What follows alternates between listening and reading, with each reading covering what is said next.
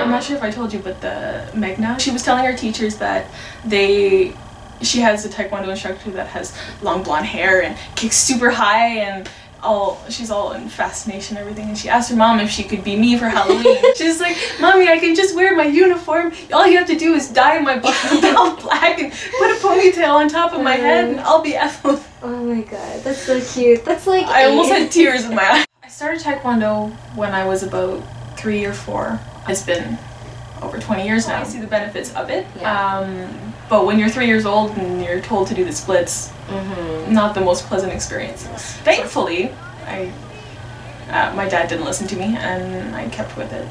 Apparently, I didn't enjoy it so much because he would make me stretch over and over again because there's only so much you can do with a three-year-old, right? But now look at you, you're so flexible. So we need that one place where we can go and just completely let go of the stress, the pressures, the the expectations.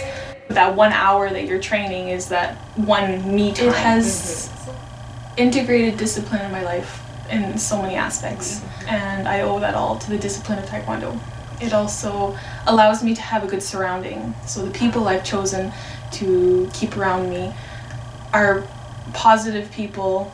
But over the years of being in Taekwondo, I saw what true friendship is and what having a family is and the importance of having these good people in my life. It allowed me to choose better people to surround and more positive influences. I like to focus more on, on patterns. We don't get to spend as much time sparring or power breaking, and mm-hmm. let's face it, we can't jump for special techniques. You need to continuously work at them. Mm-hmm. Yes, there are a set of, of fundamental movements put together, and that doesn't change. Yeah. But every movement has a purpose, every movement has an origin, and it's set to fight a, a imaginative, imaginative person. Mm-hmm. But that also changes depending on which scenario you're performing it in. So when you're performing it at a world class level, the pressure is so much more intense. So all those things put together makes for a very challenging execution. Protocol is such a huge thing, isn't it not? Yeah, and you always have to pay attention to what you're doing because you are not only representing yourself, you're representing your instructor, and then for the most part, when we travel internationally, we're representing our country. When people see that you're doing what you're supposed to, there's a, you, you earn their respect, especially when you get higher up. Any little movement out, I don't train uh, like you do, we both help with class. So we get to help students develop and not only on a martial arts level but also on a personal level because we've seen so many kids come in with self-esteem issues. And when you see that light pop mm-hmm. when kids actually get it mm-hmm. it's it's it's heartwarming and you realize that you help mold a little bit mm-hmm. of their Personality. and abilities yeah. Yeah. And then you also feel like you're part of their life. yeah exactly. The higher you go up, the more respect you attain. Yeah. But there also comes a balance where it's like I'm not just getting the respect because I'm a higher belt. I'm getting the respect because of what I'm doing.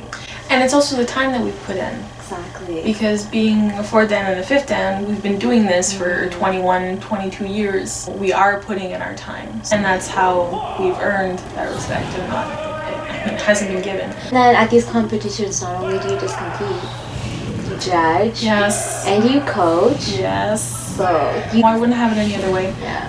I actually plan all my classes the day before, or the Okay. days before, and I make a list easier? of all the things. Yeah, because I want to give everyone a well-rounded um, workout that will Mm-hmm. help them strengthen. Uh, I also like to make sure there's some cardiovascular exercises so to challenge them, Mm-hmm. and I want to make sure that there's certain techniques that are practiced because at previous competitions I'll see what the competitors in a more general. This is when I go to Pembroke, of course. Yes. Um, what they need to work. So, say for example, if they're so used to having a linear approach when it comes to sparring, going forward and back as opposed to side to side, then I'll make sure I integrate that into their next class. I mean, people grow up, people mm-hmm. pull whatever benefits they can from Taekwondo, and mm-hmm. then we'll move on to something else. But I'm sure that the influence that they've had from Taekwondo still makes an impact on their life mm-hmm. now, because you see that they've they've they've thrived to be the best person that they can be. So, but I still plan on opening my own school wherever I end up, even if it's in a community center and, Exactly. and people don't have to Doesn't pay for their classes. Yeah. You appreciate the martial art more. Absolutely. Mm-hmm. I am so much more dedicated to the art, to our family, to the Taekwondo community in general. Mm-hmm. I mean, I don't even hesitate when we have a competition to go and help, even if I can't compete, because I do get injured a lot. Mm-hmm. Yeah. more than the average.